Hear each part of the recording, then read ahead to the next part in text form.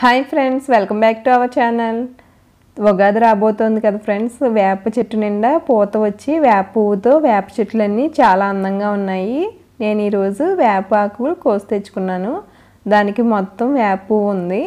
ఈ వేప పువ్వుని నేను ఎలా క్లీన్ చేసుకుంటానో ఈ వీడియోలో చూపిస్తాను. అలాగే ఈ వేపాకును కూడా నేను ఎలా యూజ్ చేస్తానో నా తర్వాత వీడియోస్లో చూపిస్తాను.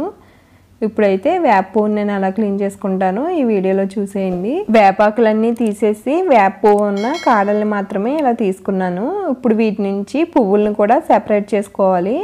ఇలా మొత్తం పువ్వులన్నీ తీసుకుని ఒక ప్లేట్లో పెట్టుకున్న తర్వాత ఈ పువ్వుల్ని కొన్ని అరచేతిలోకి తీసుకుని గట్టిగా నొక్కినట్లు కాకుండా లైట్గా ప్రెస్ చేస్తూ నెమ్మదిగా నలపాలి. ఇలా చేయటం వల్ల మనకి పువ్వుల నుంచి రేకలు అనేవి విడిగా అయ్యి ప్లేట్లో పడతాయి.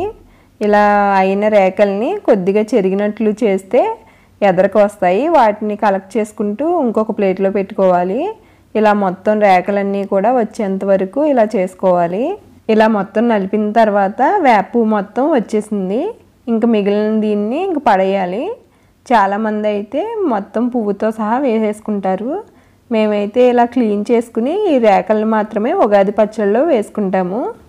ఇలా క్లీన్ చేసుకున్న వేప ఉపయోగించి ఉగాది పచ్చడి ఎలా తయారు చేస్తాను నా తర్వాత వీడియోలో చూపిస్తాను.